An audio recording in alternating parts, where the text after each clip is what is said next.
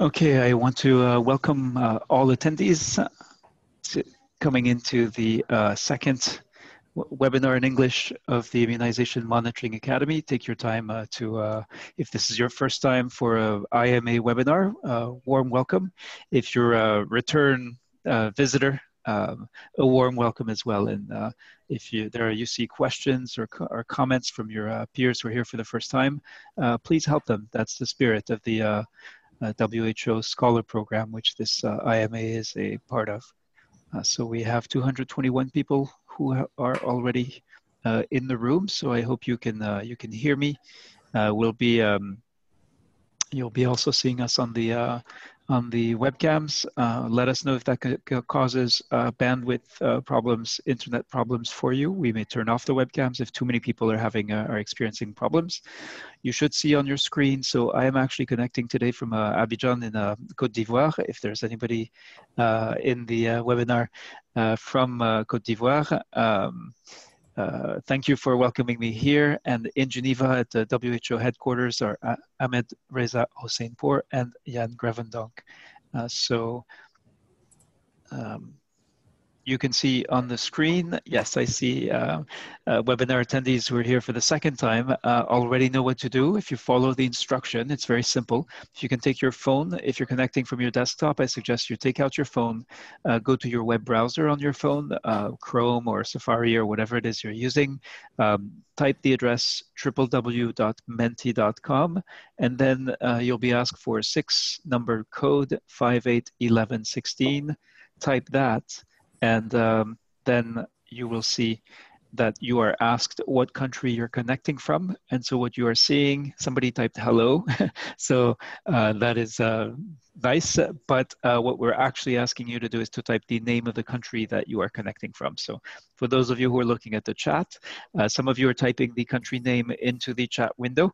Uh, so that is fine. It's uh, nice to see greetings there too. But what we want you to do is, is actually go to the website, menti com and then use the code 581116. So if you've never done this before, maybe slightly confusing, but as you can see, 36 of you have already figured out how to do it. You go to the website menti.com and you use the code 581116. This is how we make the, this uh, webinar interactive. This is one of the two ways in which you'll be able to interact with the panelists throughout the presentation. Jan Grevendonck has prepared uh, questions for you to answer, to consider, and everyone will be able to participate and share their feedback, share their input on key questions in this uh, during this uh, this webinar. The second tool, which we'll be introducing uh, after we've gone through Mentimeter is uh, the Q&A tool. And whether you're on the phone or desktop, you should see an item, a button called Q&A. And if you um, click on that button, this is completely different from Mentimeter. So please do not get confused between the two. The Q&A button is there for only one purpose. It is for you to submit and vote on the best questions for Jan Grevendonck and Ahmed Reza Hossein-Pour. So uh, in the um, Q&A window, you will see there's an option to actually submit a question, and then you can also upvote uh, specific questions that you like. But for now, focus on Mentimeter. Go to menti.com and use the code 581116. We already have almost 100 people who are um, uh, who are who have figured out how to go to menti.com, how to type in the code, and then how to put in their uh, country name. And you can see the larger, this is a word cloud, so the larger the, um, the type, uh, the more people have typed in this, uh, this, uh, this country name. So you can see that the, right now the biggest uh, contingent of participants is coming from uh, India, with also large groups from Nigeria, Pakistan, Ghana, Cameroon, Kenya. So please keep going. We're almost 300 300 attendees who've joined the room, and only 112 of you, which is uh, actually quite a bit, uh, have uh, joined. And I want to really salute uh, the uh, WHO Scholar accompanists. So they are uh, they have completed at least one WHO Scholar course and have volunteered to support their peers, their colleagues in the new courses. There are um, 170 WHO scholar accompanists. Many of them are in the room. If um, I could ask them to introduce themselves in the chat, uh, let us know who you are. And it's really a testament to this uh, WHO scholar program that's been running for two years, building on successive courses uh, to lead to, uh, to, to, benefit uh, this one and the others that we are currently running. So go to menti.com, use the code 581116, and um, yeah, type your the name of your country. Make yourself heard. We have almost half of the um, attendees who have now uh, typed in the name of their country. We still have okay nigeria i believe has overtaken india in terms of the number of uh, participants today. Um, we also have large contingents from pakistan ghana um, cameroon myanmar uh, south africa someone has typed wonderful meeting i would actually love to go to that country so the what we're asking you to do is to type in the name of the country um, so and thank you for those typing in the chat but if you want to make your voice heard you'll want to go to menti.com and um, and I see there's a question actually from George Kibike. So uh, is it possible to access the first data improvement plan? I assume you mean the webinar. So I'll give you the, uh, uh, so the, um, uh, the information and the resources from the webinar were shared with everybody who attended. Um, and we are now, and I'll give you the quick link to actually get to those uh, resources. Uh, and we'll be doing the same thing. So one of the most common questions is, um, um, is will the slide deck be available here um, or after the session? The answer is yes. So do not worry if you want, if you would like access to the resources uh, and you would like to um, look at the recording, especially if you had a connection problem or if you're not, were not able to attend the entire session, this will be made, made available to you uh, the day after the webinar. All right, so we now have 158 people. Um, so over I'd love to hear a quick word of introduction from uh, Jan and Ahmed Reza, just to, so you can introduce yourselves before I'll share more details, more practical details about this uh, webinar. Yes, let me start. Maybe uh, thank you for all uh, being there again, so numerous. Uh, congratulations to Nigeria and India for being the biggest contingents, uh, but also special thanks to the one person from the USA who is most motivated because it's 5 a.m. I think there. So still, uh, that's, that's kudos for uh, joining this webinar. So my name is Jan Grevendonck. I work in WHO. And if you joined last week, you have seen me here as well. Uh, I'll let Ahmed introduce himself. Uh, hello, everybody. My name is Ahmed Reza Hossein and I'm leading the health equity monitoring work at WHO uh, headquarters. Thank you both. So shall we look at the, so we have 167 people. So half of you have figured out how to use menti.com. Um, you go to the website, you can use your phone or you can just switch to the browser and use the code 581116. You should still be able to hear what is going on in the webinar, even if you have to switch uh, apps. So again, this is a participatory event. We're not uh, just asking you to sit and listen. We also want you to ask questions, participate in the Mentimeter in the Menti polls uh, to ask a question. This is different from using Mentimeter, so please do not confuse the two.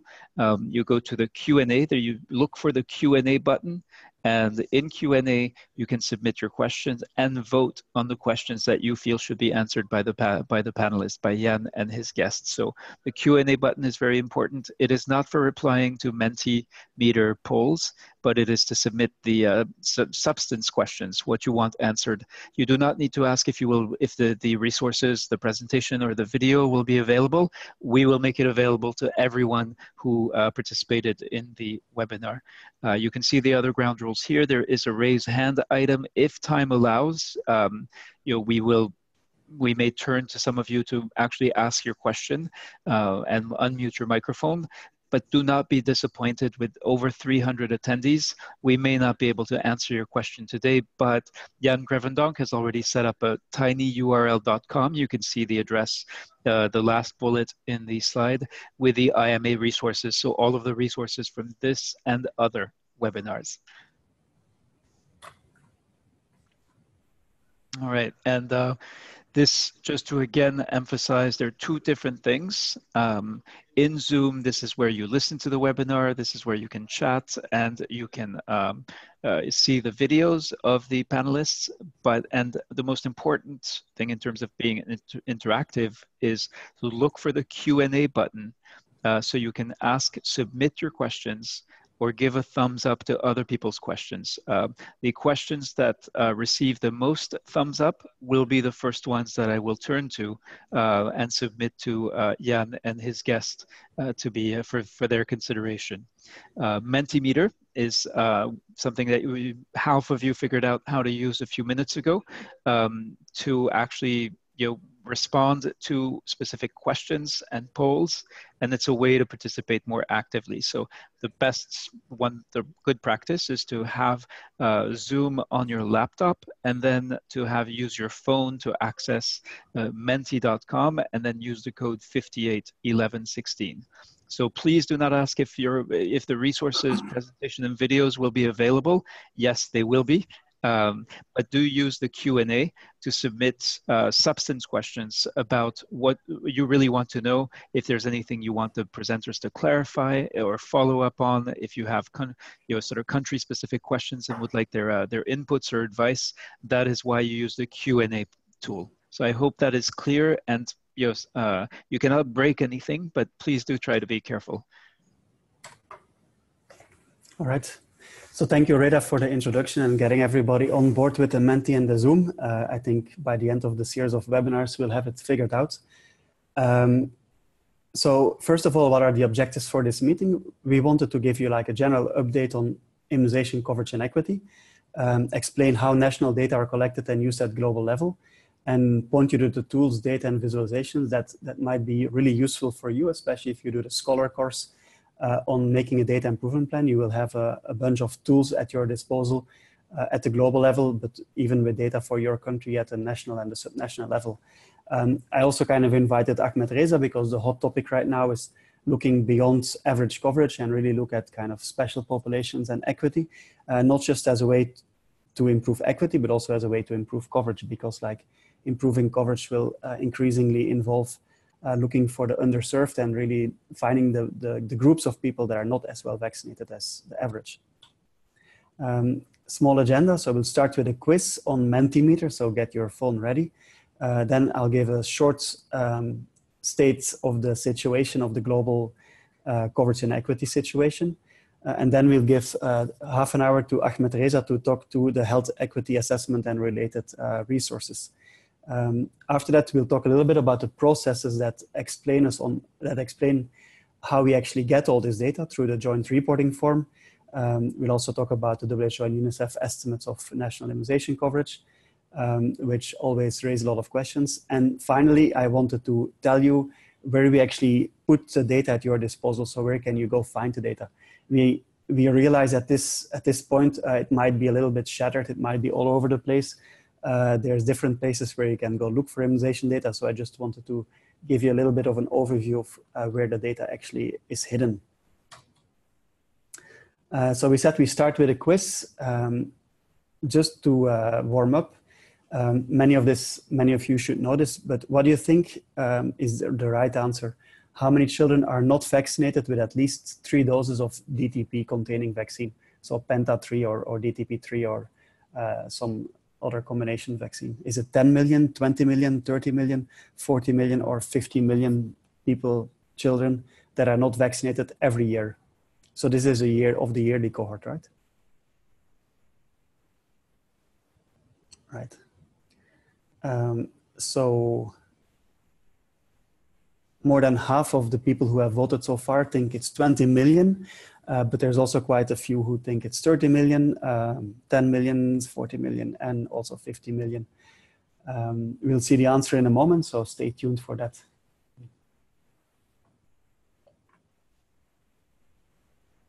I'll just give it a little bit more time. We are 130 to vote, but the clear winner seems to be 20 million uh, children. The next question is maybe a bit more difficult because it's less publicized, but what do you think is the main driver of inequity in immunization? Is it the sex of the child? Is it whether the child lives in an urban versus rural context? is it the economic status, so poor versus rich, or is it the birth order of the child, whether it's a, uh, um, the first, second, sixth child in the in the family? And uh, we'll come back uh, a lot to this. So a lot of people think it's urban versus rural of the people who already voted. Uh, the sex of the child is one person, uh, birth order one person, and economic status uh, 47. So uh, it seems to be between urban versus rural and economic status with urban versus rural um, most likely. So again, we'll come back to that and there might be uh, answers that kind of, uh, that you might not expect. Um, last quiz, you know, like in uh, two years ago, we first uh, start collecting district level data. Um, so from all these districts in 120 uh, countries that reported uh, how many districts do you think have a coverage over 100% for at least one vaccine? Is it less than 5%, 5 to 10%, 10 to 20%, 20 to 30, or even more than 30%? So just to clarify, for any vaccine, an administrative coverage of more than 100%. Right, so most people uh, think it's between 5 and 10% of districts. Um, and all the other answers are uh, a little bit spread out so again, we'll also have an answer to that. So uh, please pay attention so, yeah, as we go forward. There's mm-hmm. just a question. Uh, what does it mean, equity in relation to immunization services besides the coverage? This is a question um, from Wandimu Bekele. Yes, we'll come, we'll come back to that uh, when we have the session on equity, but basically um, equity in equity in health in basically uh, means unjustified inequalities in coverage. That's how we identify a little bit equity. So if there's a population group that has uh, a lower outcome in terms of coverage than other population groups, um, that seems to be unjustified. We call that an ine inequity. So okay. it is very much related to coverage, but instead of looking at the average coverage, it looks at uh, coverage in specific groups, uh, whether those are uh, females or males or uh, poor people or rich people or urban or poor or, or whatever they are. And I'm looking at the master to correct me. Thank you. Yeah. Right. Okay, so anyway, you think that uh, there are districts with estimate coverage over 1%, but limited to 5 to 10%. We'll come back to that in a minute. So first of all, uh, a lot of you might have seen this uh, slide. Uh, coverage is stagnating at around 85% for the last um, almost uh, seven years now. We don't seem to be able to increase that. Uh, there are 20 million unimmunized children, as you see on the bars on the bottom. Half of those children actually live in Afro. Um, so yes, uh, 20 million was the right answer to that, to that question. And Afro is the region um, with most unimmunized children, 10 million out of 20 million.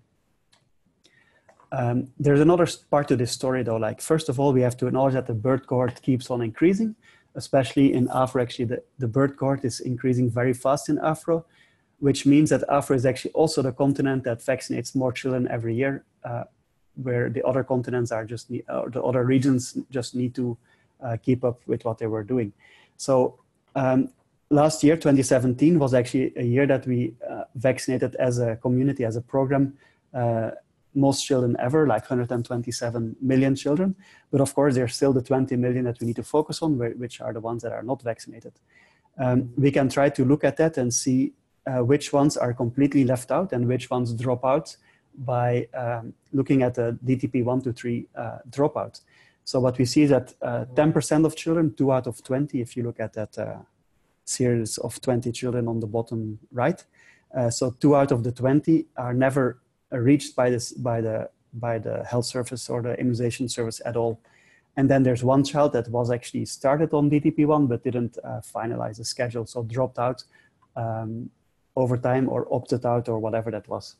Um, so I think the role for data and the role for immunization programs is now really uh, to well, first of all, we should congratulate ourselves in reaching all these so, children, yeah, but also we have a quick question from um, uh, Adam Haji who asks, "What is the difference between dropout and left out?"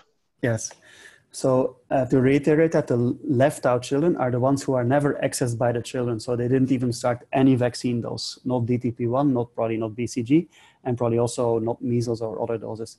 So the zero dose children, uh, they're also called, or the left outs, or the, uh, the people that never access health uh, services uh, often.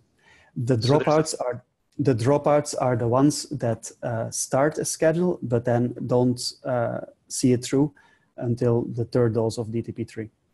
So there's a follow-up question from uh, Dr. Khalid Abubakar, WHO companies, who ask, what's the difference between left out and unimmunized? Can we use it interchangeably?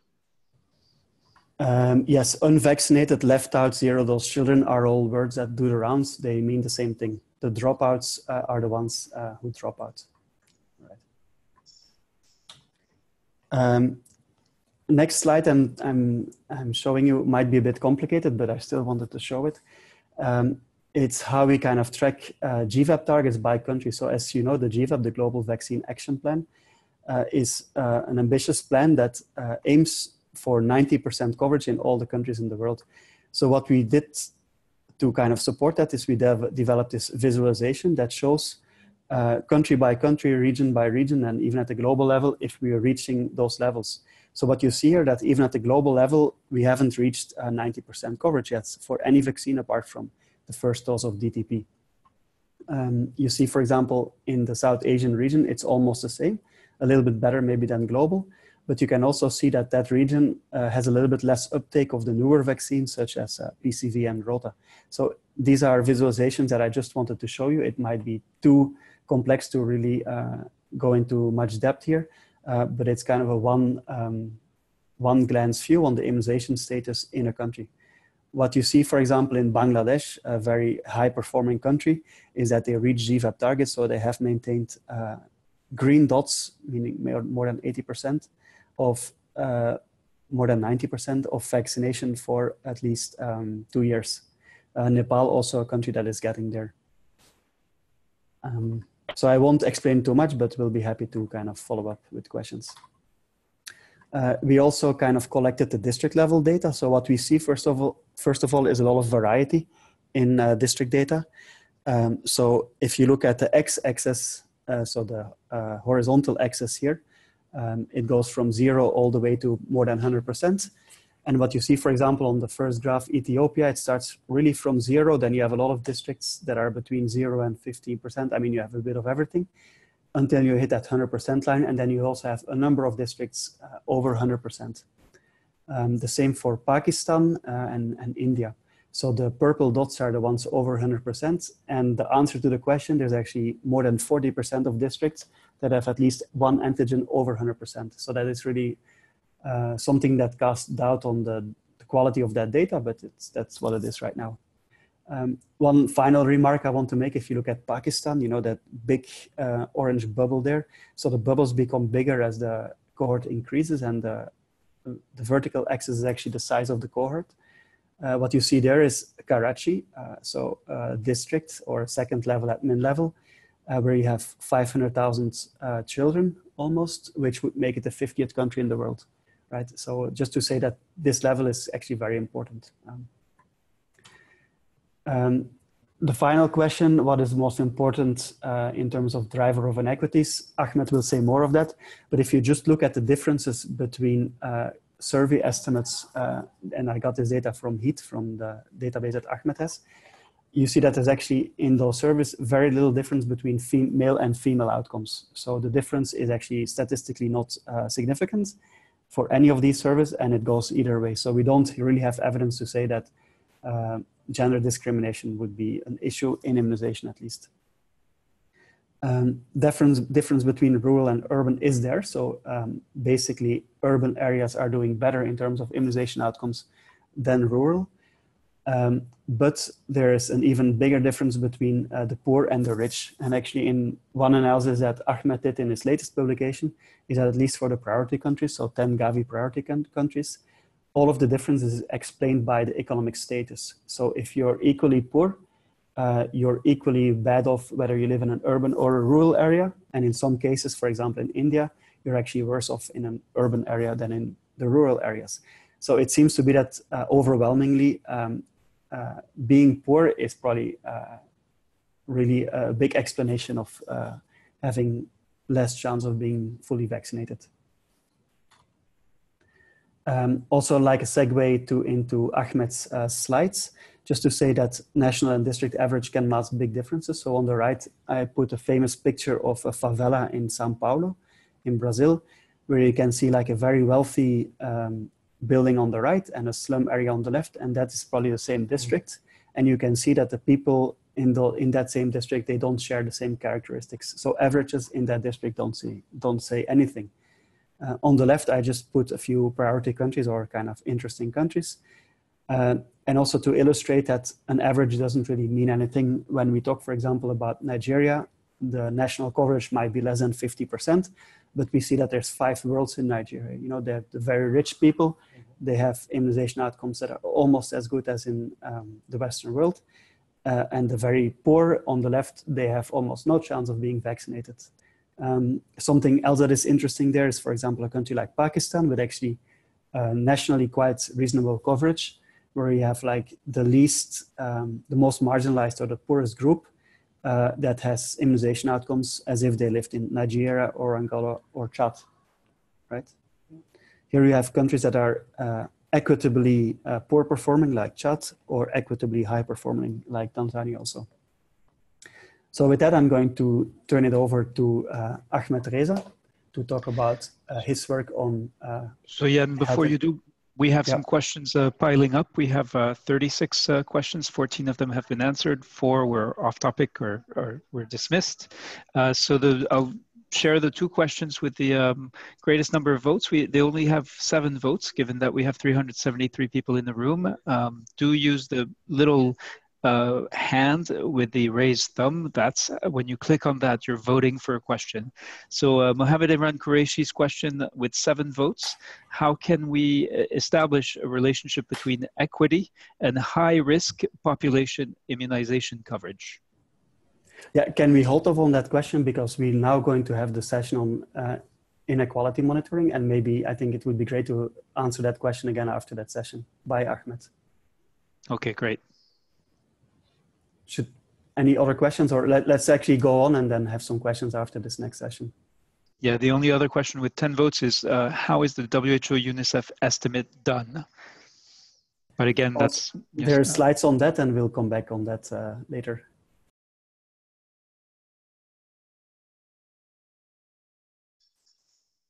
Mute. Turn the video on.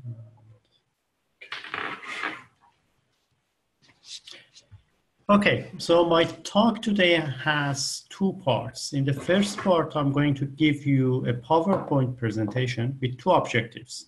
First, why uh, health inequality monitoring and data disaggregation is important, and then what WHO has done about it. And in the second part, I'm going to give you a live demonstration on a toolkit that we developed, Health Equity Assessment Toolkit, that basically uses interactive ways to analyze and report on health inequality.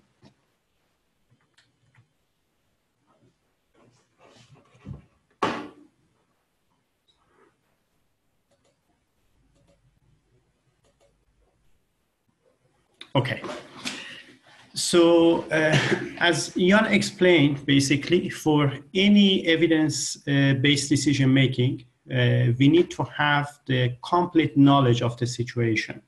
And we cannot just rely on the averages, which basically may mask the variation in the circumstances that we are assessing. So if we do so, we may take wrong actions as what happened to this guy who decided to cross the river just based on relying on the sign showing only the average depth of the river. So the same thing applies to uh, health topic, to immunization. And at the same time, we need to look at both average and variation within the population. So in Sustainable Development Agenda, equity is central with the leave no one behind aspiration. it is basically reflected explicitly in uh, Sustainable Development Goal 10, which actually calls for reducing inequality within and between countries. And it's also reflected in SDG 1, 4, and 5. In the health goal, we call for ensuring healthy lives and promoting well-being for all at all ages, which basically promotes health equity. And more specifically, in the SDG target 3.8, which calls for universal health coverage, we basically looking at uh, progressive realization, which is tracked through monitoring health equity. So that's the way in the SDG goal we look at health inequality. In the SDG target 17.18, which is basically the means uh, for uh, implementing SDG goals, there is a specific targets uh, that basically calls for building capacities in the countries uh, to use disaggregated data that are reliable, timely, and uh, with quality data. Also at WHO, in the upcoming year, we will have our new global program of work, which is WHO broad strategy for the next five years. And that explicitly basically calls for promoting disaggregating data, including immunization data, uh, by different dimensions of inequality like sex, income, disability, ethnicity, and so on. And it's quite important to basically strengthen equity-oriented health information systems in the countries. In that sense, then we will be able to collect health inequality data analyze them and report them to different target audiences so we can make sure that we will have equity-oriented policies, programs, and practices. Knowing the importance of health inequality monitoring, WHO has developed a full package uh, of tools and resources for data disaggregation and to use it for building capacities in the countries and also at global level. So in this slide, you can show different tools that can be used at global and national level and through the components for uh, monitoring, which is, starts from collecting data through analysis and reporting. So I'm just going to refer very briefly to some of the documents, some of the resources that we developed. So the first one is WHO Health Equity Monitor. Uh, that's the WHO platform of disaggregated data, global base, uh, global database for disaggregated data. That's established in 2013, but we updating it annually once or twice. And currently it's one of the largest global database on health inequality data. That includes data from uh, two international, three international household surveys, demographic uh, and health survey, MICS and RHS, reproductive health survey. And it covers 111 countries and mainly indicators from reproductive, maternal, and child health, including immunization data, disaggregated by six dimensions of inequality economic status, education, place of residence, which is urban, rural, provinces or region within countries, child sex, and women's age. We also provide in the health equity monitor country profiles which are interactive and many other interactive visuals that could tell stories in different topics including immunization and that's quite useful in the sense that it's effective way of communication and users can play with the data and choose whatever they want very quickly and easily. The other thing that we do is basically we produce uh, global thematic reports. Some of them you can see here in this slide. So we already developed two global reports for immunization. Uh, the first one was looking at a state of inequality, meaning that what's the latest situation of inequality in immunization globally or basically in mainly low middle income countries for which we have data, and how inequality has changed over time. And the last report that came out last July, we actually looked at the associated factors explaining inequality in 10 priority countries based on the criteria that the Global Alliance for Vaccine has. So that was the thing that also we do at global level. At country level, uh, we have two approaches basically to build capacity in the countries for health inequality monitoring. So of course, one approach is through uh, capacity building through training workshops, uh, and that sort of more opportunistic approach whenever we have requests from regions and countries, uh, given the availability of time, we do that capacity building. And uh, we already covered several countries and regions for that. And as one example to highlight the immunization, the reports on uh, state of health inequality that came out last December uh, was the result of 20 months work with uh, Ministry of Health and different stakeholders in Indonesia based on their requests. So we built the capacity on monitoring health inequality, mainly on data analysis and reporting data. And as a result of that, we had that comprehensive report, which was the first comprehensive joint report of WHO and a member state on a state of health inequality, which includes also a chapter on uh, inequality in immunization in Indonesia. And the similar thing basically could be done in other countries for which we have data. We also published the process of capacity building in Indonesia. So that's basically, we identified the success factors, the challenges, and how it could be replicable to other countries. Of course, the other approach that we take, because we cannot cover all the countries through capacity building, we have a systematic approach. So in 2013, we published a handbook on health inequality monitoring, which was based on previous experience of the training workshops we had in the countries. And we covered all components of health inequality monitoring with real examples from countries. Then we also produced uh, lectures, PowerPoint lectures with speaker notes that are publicly available. Everything that I'm explaining are publicly available.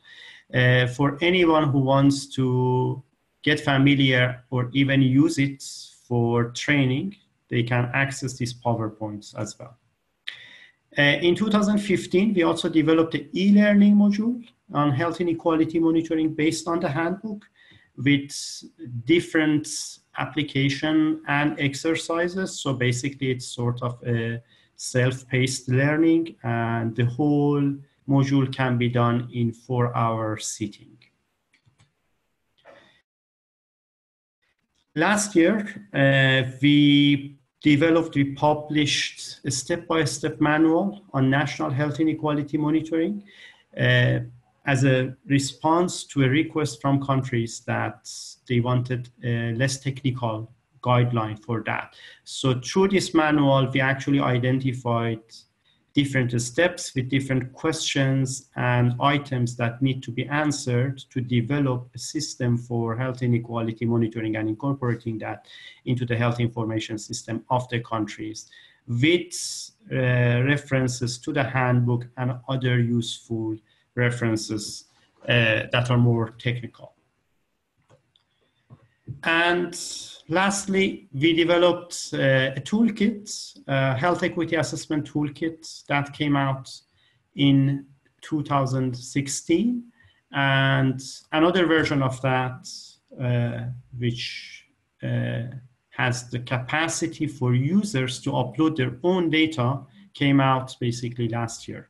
So uh, I'm going to now give you a live demonstration on Health Equity Assessment Toolkit HEAT, so you can see how that works and how we can interactively analyze health equity and report on that. Ahmed, could you maybe also answer this question? Like, how can we establish a relationship between equity and high-risk population immunization coverage? Yeah, for answering that question, actually, it's not very clear to me that what what is meant by that, because what what we meant by high-risk population immunization coverage. Uh, if I know that part, then then I can answer that question. But the question so is maybe we can clear. ask uh, we can ask the, the, author of the question to uh, to tell us um, if. Uh, let me just find him in the list. Um, yeah, and so Mohammed Imran Qureshi is a WHO scholar accompanist. Uh, Mohammed, uh, can you hear us? And would you like to clarify your question for uh, Dr. Ahmed Reza? Uh, thank you very much, Reda. Can you hear me? Yes. Yes. And uh, thank you very much, Ahmed Reza and John. Uh, first of all, really appreciable the efforts of this webinars to address all such sensitive issues of immunization across the world and through the support of WHO headquarters. Thank you very much. So just uh, to clarify the question, uh, mm-hmm. the immunization coverage in the high-risk population is always a challenge. Challenge by many means, mainly service delivery, and you know, high-risk population are, are of different varieties. Mainly, they are those people who, who remain in movement, like mobile high-risk migratory populations, nomadic populations, like uh, the, the, the populations uh, who move for, for agri agri uh, business and earnings and some bricklayer workers, something like that. And they, they, their immunization coverage is always a challenge. So mm-hmm. how we can relate this inequity with this uh, high risk population immunization coverage? Is there, is there a direct relationship between the two and uh, how we can like better understood and how we can like improve the situation in our own countries. That's basically when we refer to equity or inequality, that's basically the difference that we see between, as you described, high risk population and the low risk population. So that's sort of the definition of, I mean, that also I want to emphasize on the previous question on inequality and inequity because that also comes in many times that what's the difference between the two. So with inequality within country inequality we look at the observed difference between whatever the topic is in this case immunization coverage between different population subgroups including high risk population and low risk population. And with inequity basically is a subset of that inequality that is avoidable and it's unjust. So that's that's the difference. So in that sense, what you're looking at or you're asking is basically when we talk about equity, we basically look at that difference between uh, high risk population and low risk population. So there are two parts to that. With monitoring, we measure that difference and then the next step is that when we identify where are the inequalities or what are the population at risk with low coverage, then basically what are the drivers for that? So for that, we need to do research, quantitative and qualitative research to answer that question. And there is no single quest, single answer to that because what drives that low coverage in high risk population could differ from one situation, one context to another, from one country, one district to another one. And even it may change from time to time. So that's why basically when we look at that and we explore, we look at the inequality and explore inequality, then the next step is basically to conduct research studies to see what explains that inequality or equity that exists, or what explains the low coverage in the high risk population. I hope I answered your question. So I'm just continue to the uh, demonstration. Shall I share my yes. Okay. So just one moment, I'm just sharing my screen now so you can see the toolkit here as well. Okay, So uh, I hope everybody can see the, the screen, uh, my screen. So that's the interface of the Health Equity Assessment Toolkit. And you're seeing the home page of that. So it's very simple.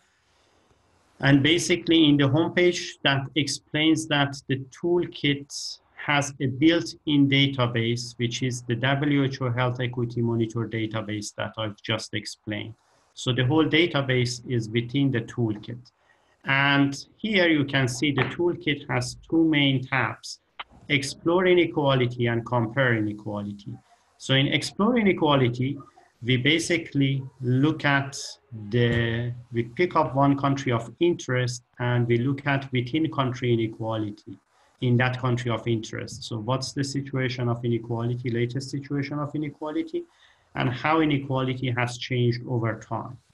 With compare inequality, we compare the situation of inequality in our country of interest with other similar countries. So that's the concept. So let's start with explore inequality. So I'm clicking on that. And in the new page, you can see several components. So on the top here, you can see five subtabs.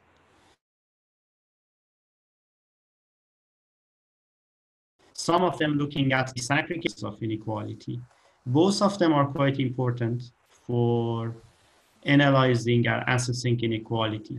With disaggregated data, we can look at uh, the pattern of inequality and get a full picture of the situation of the variation within the country. With summary measures of inequality, as the name uh, implies, they basically, those are the measures that summarize within country inequality into one number.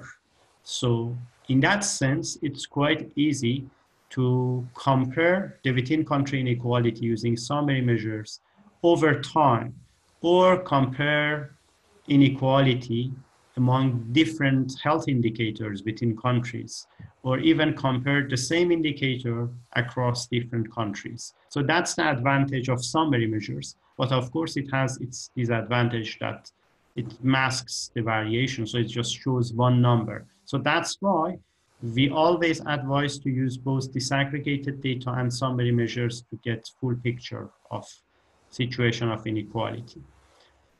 In the left panel, so on the left panel, you can see that's our selector panel. So you can select from this left panel your country of interest. By default, that's Indonesia. You can select the data sources that we have in Health Equity Monitor database and select the year. And we can select also the health indicators that we have here. So there is a list of indicators that we can pick up from here. By default, that's birth attended by skilled health personnel, but it has also immunization indicator that I can also show you later on. And we have those six dimensions of inequality that I explained to you. So let's look at the, the visual that we see here. So in the visual, we can see by default, it's picked up Indonesia and four rounds of demographic and health survey for which we have publicly available data. We're looking at disaggregation of births attended by skilled health personnel by economic status over time. So in the x-axis, we can see the coverage of a birth attendance. And in the y-axis, we can see the year of the survey. So looking at each line, each horizontal line, we can see five dots and each dot, each circle shows the coverage of a birth attendance in one of the wealth quintile, in one of the 20% population. So looking at the data, for example, picking up 1997, I can see that there is a big variation, a big gap between the poorest quintile and the richest quintile. The coverage in the poorest quintile is about 20%, meaning that only one birth out of five got basically a skilled personnel at the delivery. But in the richest quintile, we can see almost all the births got the skilled personnel at the delivery. The good news here is that when we look at the data over time, the gap between the poorest and the richest has decreased significantly over time. So that's the good part of it. But bad news is that still there is a large gap that exists between the poorest and the richest even in 2012. And if we look at more closely, we can see the gap between the poorest quintile and the second poorest quintile actually has increased over time.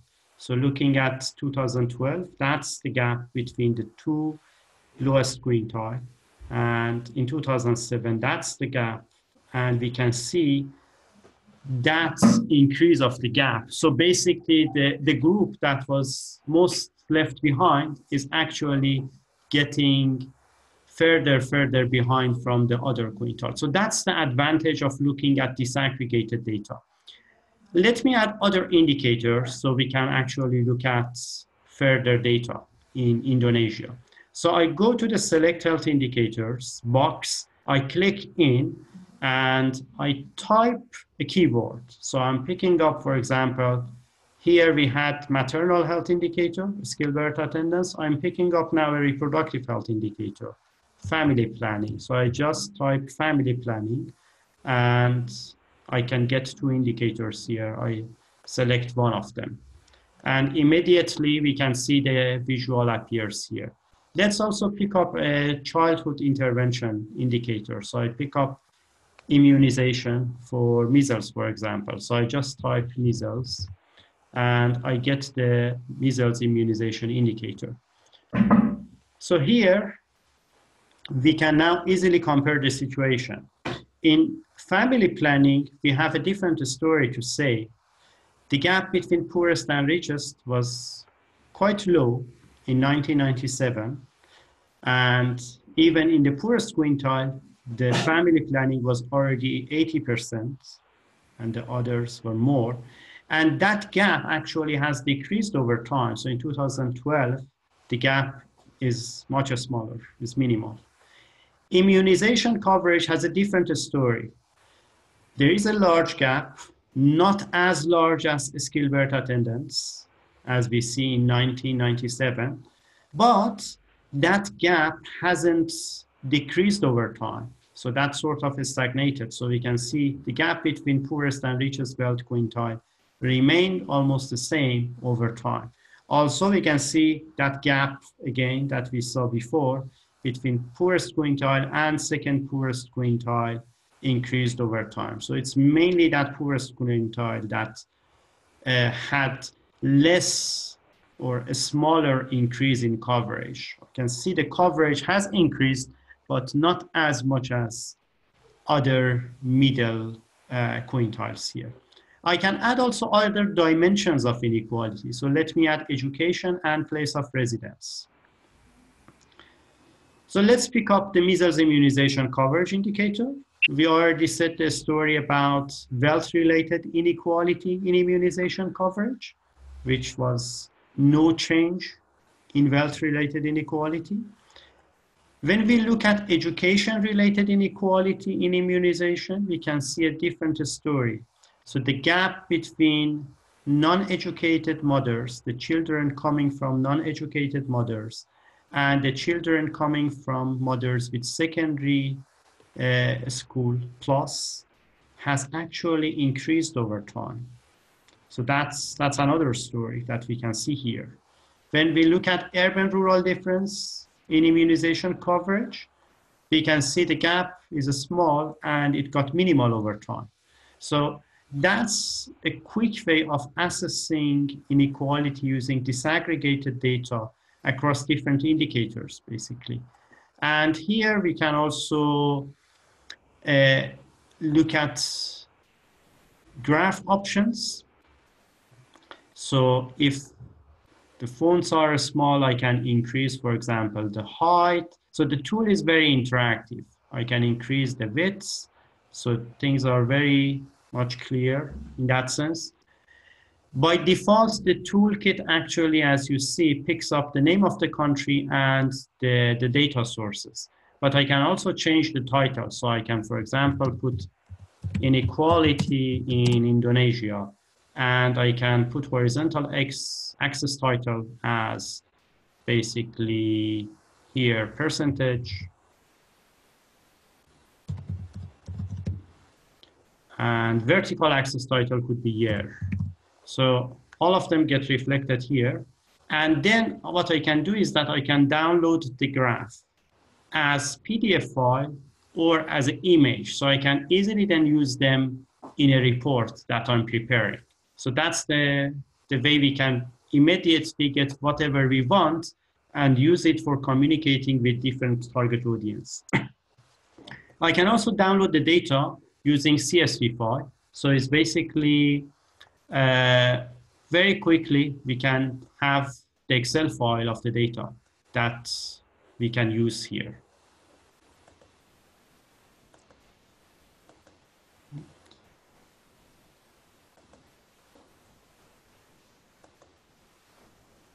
Let's focus here.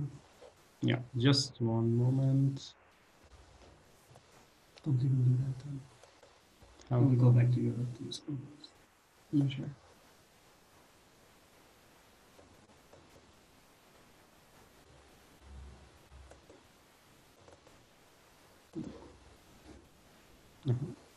Okay. how can I move it up? Yeah. Okay. Um.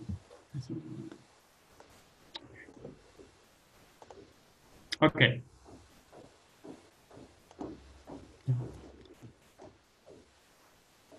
Um, you have to say what you want to get this one. Okay, sorry for the interruption. That's the uh, the case that we have in the like when it goes to online demonstration. I couldn't find the, the file. So in that sense, basically uh, just demonstrating one of the tabs that we have here. And the other tabs could be functional the same as this one basically. So we have disaggregated data using detailed bar graph so we can look at the situation when we have many subgroups. So let's say we have subnational region. In that sense, we can look at differences across subnational regions or districts. So in Indonesia, we have 33 provinces, and this way we can look at the situation in the, in the districts. We can sort them by health indicator, we can sort them by dimension of inequality. I can pick up how I can sort it by, let's say, immunization coverage. And I can see, for example, in this case, when I sort it by immunization coverage, the province Papua has the lowest coverage and the Yogyakarta has the highest coverage. So let's go to the other tab to compare inequality, where we basically would like to look at uh, the situation of within country inequality in Indonesia and other countries, other similar countries. So here, basically, we have the same selection panel. What we have here is that we also have the option to choose the countries. And from the options that we have, I can pick up, for example, low-income countries and for example, Eastern Mediterranean, Western Pacific countries. And from the list, I can pick up any countries that, that interests to me. So I'm just picking up quickly all the countries that appears in the list. So there is another option here is that how many years actually I would like to go back or come from from the survey year that I have. So my case, Indonesia, the survey comes from 2012. So by default, the toolkit picks up all the surveys uh, from 2010 to 2014, covering that two years difference. It can go to same year only. So here, as you can see, we're picking up only the surveys coming from 2012, or I can pick up maximum five years. So picking up the year from 2007 to 2017.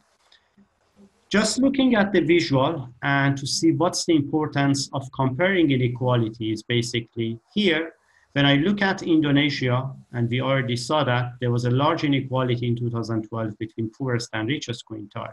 But when we put it into the context, when we do benchmarking, we can see there are countries like Laos, like uh, Afghanistan, like Timor-Leste, Yemen, that has actually much larger inequality than Indonesia.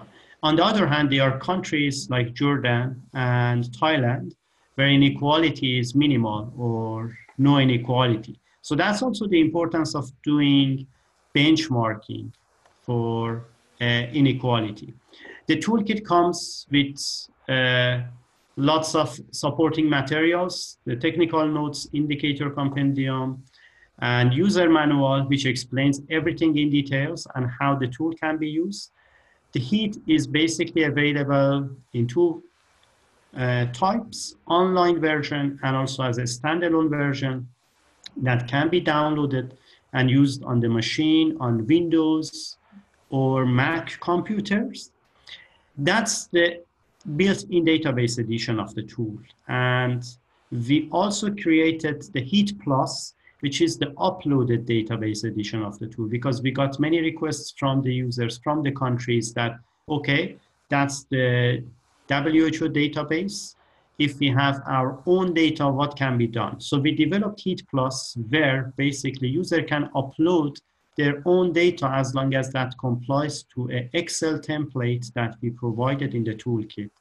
And then as long as the data is uploaded into the Heat Plus, then the toolkit can calculate all the summary measures of inequality and can be used for assessing inequality exactly the same way, exactly with the same interface using, looking at uh, summary measures, disaggregated data, and we can explore inequality and compare inequality. Uh, in the slide that Jan is going to show, uh, basically we provided also all the references in the last slide. So you can see in the slide that you get, in the PowerPoint slides, you have all the information about the health equity monitor and the references that we have there. So uh, that's a quick overview on the WHO work on health inequality monitoring. And everything, as I said, are publicly available. And I understand that there was a two-pager summary that I already shared with you that shows the summaries of each product and the link to each of them so it can be accessible easily for further reference and exploration. Thanks very much.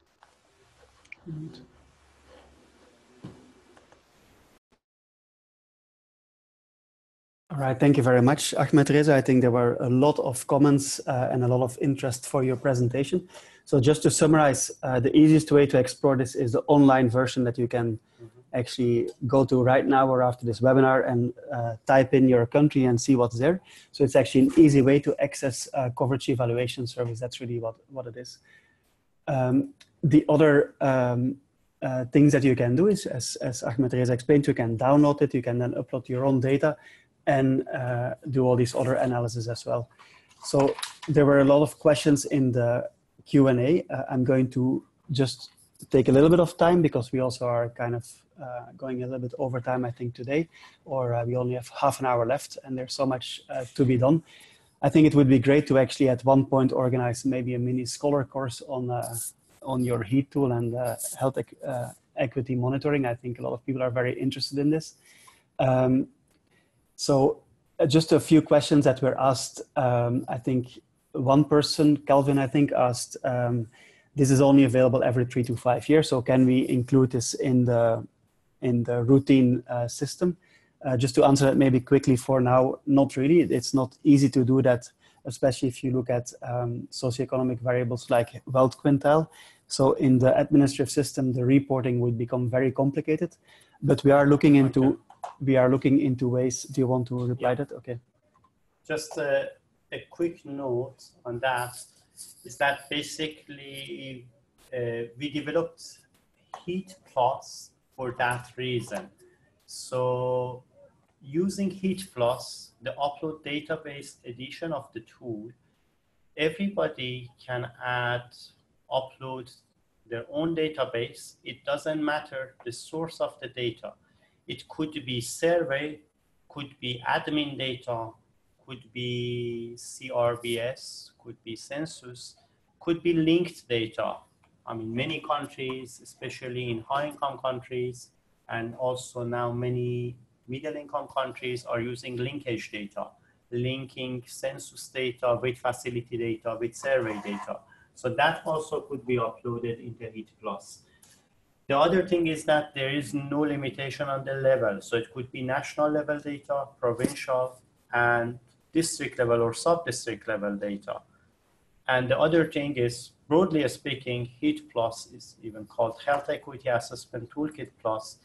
It could be used for disaggregating any indicator by any dimension of, in, of inequality. So it could be, for example, education by employment. So in that sense, the HEAT Plus has no limitation in terms of data sources, level of administration, and the type of the indicator and dimensions you're going to upload as long as you comply to the Excel file that we provided as a template. Can maybe just clarifying and, and uh, just this is a very uh, interesting but also complex question. So I think the data that is that we I mean technically it can be done, but the data that would need to come from the admin system is just not there because the data are not uh, labeled as kind of uh, poor versus rich, or we don't disaggregate on, less on that level. And for now, that's also not something that is very feasible to do. But of course, with new developments, like for example, electronic registries, it might become more feasible. We can also have, like, as you say, these small area uh, linkages of kind of um, who lives in that area and link that to socioeconomic status. So there are things that we're exploring, but right now, you're right, we're actually limited to using survey data mostly for this as a source for this analysis. Um, I think somebody else, uh, Kevi Setuo, I hope I pronounced that a little bit okay, uh, asked that um, immunization is free, so why would this be uh, an uh, affect equity? So yes, immunization is free, uh, but we do see still that uh, poor people have just much less access to the um, to the to the health system. There might also be kind of things that play like uh, social distance. So, for example, marginalized population, different ethnicities, who don't necessarily trust government or the government has no, no good relationship with them. Uh, and finally, for example, even slum dwellers, for example, who uh, are poor, well, they need to work. They can't bring their uh, kids to the uh, clinic at four o'clock in the afternoon. So that creates all these barrier to immunizations that we need to understand better, but we know they're there. We can see it from the data. Um, so that's for that question. And this is actually very well related to a lot of the other questions that people asked in the chat or in the Q&A which are about um, the dropouts and the leftouts. So who are the leftouts and the dropouts and what does it mean for us? So very simply said, uh, if you have a lot of leftouts, um, these are the kids that never access the system in the first place. So the zero dose kids. So either there's kind of uh, physical distance or social distance or mistrust or maybe hesitancy for vaccination. Um, but anyway, people that we don't seem to connect to the health facility. So that's a really hard uh, problem to solve. And somebody asked, how can we monitor it? Uh, very difficult to do that. So we use denominators uh, to think, okay, how many people are in the country? How many people do we reach? And the difference are the ones that we don't reach. Uh, but it's very difficult to do that because the, um, the, the, difficulties with denominators, of course, we have. Um, there's other ways like GIS and stuff that we can try to do, but um, we'll have a webinar actually dedicated to that only. Uh, so dropout is a very different issue. Dropout means that people come, so the hard part is done, but then somehow they uh, don't complete the schedule. So then we have to ask ourselves, are there service issues? Uh, when they come back, um, maybe there was no vaccine there, or maybe they were not well treated and they decide not to come back, or maybe there was an AEFI that was not well attended to and they decide to drop out. So it's a, a it's kind of more a service quality issue rather than a service access issue. Um, this is a little bit described in the handbook, which you find in uh, the resource folder under webinar one. So there's a handbook on monitoring and it's kind of a little bit described there. Um, and then high dropout rate, I, well, I reply to that. Um, so maybe I think we should uh, continue with the slides because we only have 20 minutes left. So let's do that. We have a few important things still to say. Yes. Yeah, just a just a point of order. We we will be making a hard stop at the halfway mark because we have the uh, and I see some francophones may have gotten confused and joined the English uh, web, uh, webinar. Uh, at the halfway mark, we'll be um, okay. kicking off another uh, session of the Survey Scholar course in French. Okay.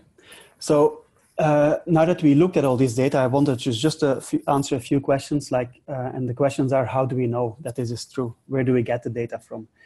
Um, well, just to say that all the member states uh, send reports, such as annual country reports, the joint reporting form, for example. Um, we also find periodic coverage surveys that are shared by countries or that we actually find through DHS uh, MICS partnerships. Um, countries send their monthly case-based uh, vaccine preventable disease data for certain priority diseases such as measles and rubella. And ad hoc, there will also be the polio data. If there's a case of polio, uh, wild or vaccine derived, we will know about that uh, right away. So that is straight ahead. And then these arrows um, in the middle, there's a bit, a bit of a sausage factory. So we kind of analyze that, we clean that, we, we triangulate that, uh, we make the WUENIC estimates, um, and we use those uh, actually to inform all these things like the GVAP community, uh, the polio GPEI, um, the um, Ahmed Reza mentioned uh, the the sustainable development goals. Uh, Gavi uses that, uh, WHO of course uses that, and the Measles and Rubella Initiative, amongst others. So there's all these uh, global initiatives that use that kind of data that you share for surveillance and for monitoring of programs. There's a few things I want to, to explain. So there was a question, what is the joint reporting form? Uh, lucky enough, I have a slide for that. It's, uh, it's called joint because it's a joint between WHO and UNICEF. It's a very complicated way of how we get it and collate it. And it's kind of a little bit a political uh, or kind of historical uh, artifact that it goes through all these country offices and regional offices. Uh, but in the end, it's the way that we find out from programs uh, what their numbers are annually about vaccine preventable disease cases about coverage, whether that's administrative and official, uh, the vaccination schedule, the prices for vaccines that people pay, system indicators, and supplementary activities, so SIAs. Um, one thing I want to display, explain here is when countries tell us what their administrative coverage is, they also have the option to say, well, this is the administrative system, but apart from that, we have an official estimate, which might be different for some reason, because we look at our service and we have like a different approach. So we don't say it's 120%, we think it's only 85%, for example. Uh, the vaccine prices we collect and we share with everybody just to find, to try to gain some market power uh, against the manufacturers so that um, we, if we all know what everybody's paying for vaccines, we can actually use that in our negotiation with uh, manufacturers. So that's the joint reporting form. Um, and actually this year is a 20 year joint report form. So we have a bit of a, anniversary. anniversary.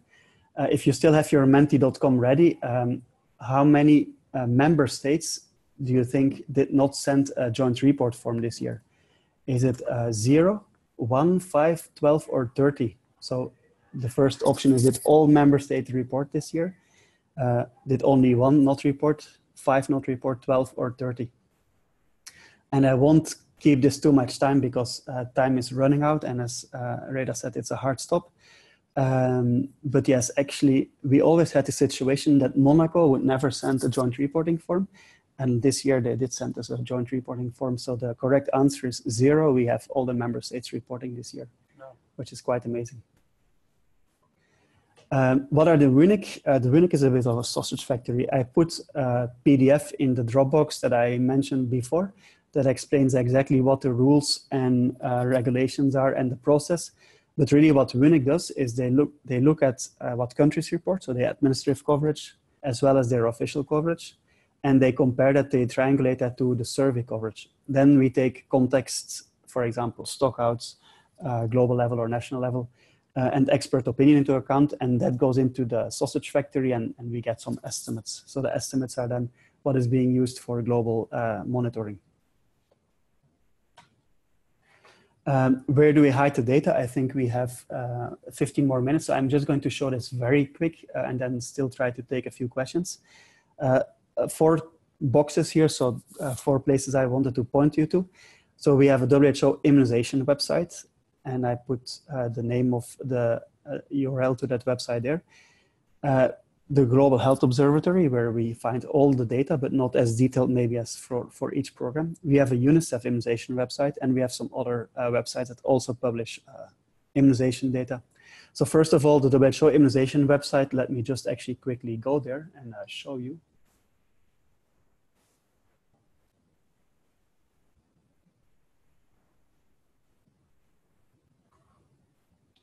Actually might need to actually minimize this. Okay, this is WHO data website where we have all the data and statistics in one easy page for you to access. So everything that was on the list there. Two things I wanted to point out is first of all, um, on that global website, we have uh, all information available by WHO member states. So if you click on this link, you will actually be see, you can actually see all the data that is there for one country. I clicked on Afghanistan, right? And you will see all the data. It's not very uh, pretty, but it's all there. Uh, you also see some, you can also see some graphs there that are included um, together with the numbers and you can download the data as CVS and Excel also. Just to say that this might be interesting for you to look at. Um, all right, let me go back. Uh, I also wanted to show that there's an app. So we have a free immunization summary application for tablets and phones that you can download and then you have the world immunization data at your fingertips on your phone. It's available in iOS and Android. I talked about this. Uh, the Global Health Observatory, it's very nice, it's very pretty, but it's sometimes hard to find things in there. Uh, so I find things by Googling it. I just wanted to show two things. First of all, uh, people asked before, can we also see, uh, for example, the do, do, these punch cards exist also for the African region? Yes, they do exist for the African region. Here it is. They exist for all regions and all countries, and here's where you can actually find them. And here also there's a little text on how to interpret uh, this uh, graph. The subnational data are also there. Um, here we have Bangladesh. As you see, Bangladesh has, most of its districts have coverage over 100%, uh, which is probably a data quality issue and an issue with the denominator.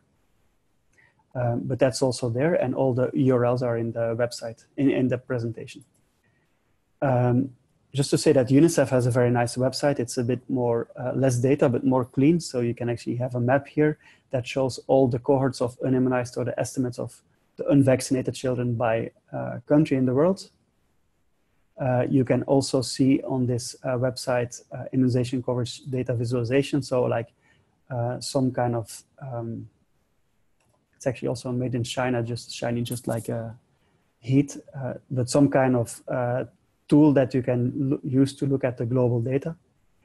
And it's, I'm not going to play around with this because we don't have a lot of time, but just to show it's there. Um, and you can also look at the, at the WUENIC estimates, for example, here, which is also, by the way, on the WHO page, but I'll open it here. Uh, the immunization country profiles here that will lead you to the um, uh, to the WUENIC. So let me again take Afghanistan, for example, just show you how it works. We understand it's quite hard to interpret uh, uh, but just basically to say how it works, because people before asked me how it worked, and I will ask, answer that question now. Um, the way it works is that here we show all the data that are collected, so the, all the administrative data in stars, all the official estimates in bubbles, and all the survey estimates or the survey outcomes in bars so what this committee then does is they look at all this data and they make decisions based on a rule set that they have. And I put a PDF that explains the rules in the resource folder. Now, the blue line are then the WUENIC that are based on, in this case, surveys because the administrative numbers are not uh, trusted in this case. Um, what you will find here, apart from this table and uh, the graph, are an explanation here of exactly what decision was taken and why. And basically, if you doubt a decision, here at least you can find why this decision was the way it was. Sometimes it is because uh, the difference is just too big, or sometimes it was because the denominator was adjusted from one year to the other, and then we won't uh, trust that as well.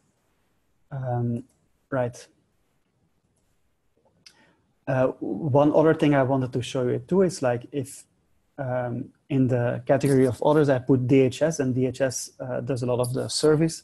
And of course, just to highlight that this year, a few years ago, they started putting model service estimates. So they kind of take all the DHS data, the cluster outcomes, and what they will do is kind of they will uh, show all the indicators, uh, and this is DTP, for example, for Myanmar, and they will have like an estimate of um, where coverage is high and low. And uh, a little bit unintuitively, red is very good and yellow is bad. So more, the more red it is, the more coverage there is. Uh, what you see here is, for example, that um, for measles, for example, in Myanmar, you see you have very high coverage, apart from in this uh, northern region here, um, according to that uh, model. Something to play around that might be interesting. Um, so that was it for uh, the data. I don't, so we have 10 more minutes uh, for questions. So Reda, if you want to uh, highlight maybe the most asked questions and we'll try to answer that.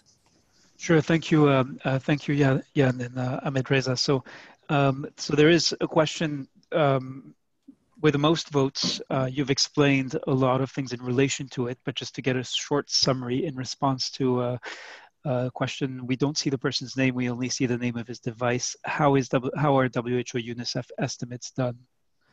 Uh, yes. Um, so to be honest, like it, there's uh, too much explanation that can be done. There's a number of rules that say exactly what should be done.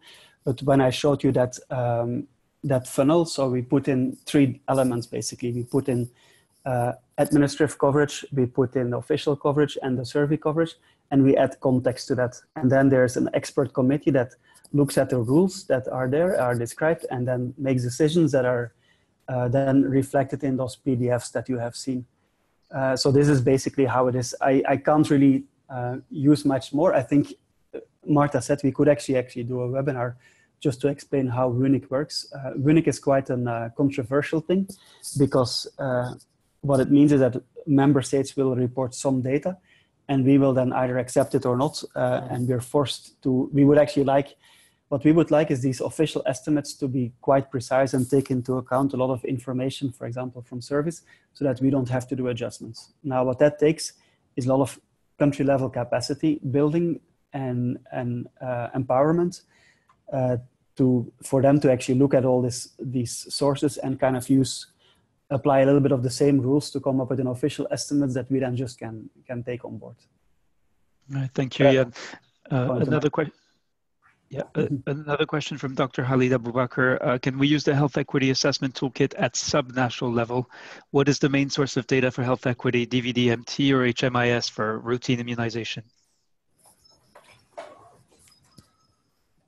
Yes, yes, yes, yes, as I explained, it can be used at any administrative level as long as we have the right data for that. So let's say in a district, we had immunization data disaggregated by any dimension. We can, it can be uploaded to HEAT Plus and then the whole assessment could be done through HEAT Plus. All right. Okay, thank you. Um, now, there is a question, uh, I'm trying to understand it, from Ibrahim El Anesi. Um, about inequity. Um, mm-hmm. Jan, have you looked at that one? Uh, so Ibrahim says most of the poor people are low education. The rumors are going and spread between them so fast that there are many refusals. Supporting social mobilization is not the correct solution always because they also do not trust the government and agencies. Also, monitoring equity is too difficult. So two questions, how is that applied in the other countries? And two, what is the best solution for monitoring and also to reach these poorest people? So quite a broad question, but I don't know if uh, either of you can, can provide some elements of response. Mm-hmm. Sure, yeah. Uh, of course, that's also quite important. I mean, I haven't seen that in the in the quiz, but education is also mother's education is one of the most important factors that associated with immunization coverage. And if you're interested, you, you're welcome to look at our latest report, Exploration of Inequality uh, in Immunization, that we've done in 10 priority countries, uh, which had the uh, highest number on unvaccinated children. where we actually we looked at uh, the joint effect of different factors like we use basically a modeling logistic regression modeling to look at to see what are the pure associations of each of these factors education wealth quintile urban rural birth order and so on with uh, immunization coverage with dtp immunization coverage meaning that basically we control for the other factors. When we looked at the association of, for example, education and immunization coverage, we controlled and we kept the other factors associations fixed.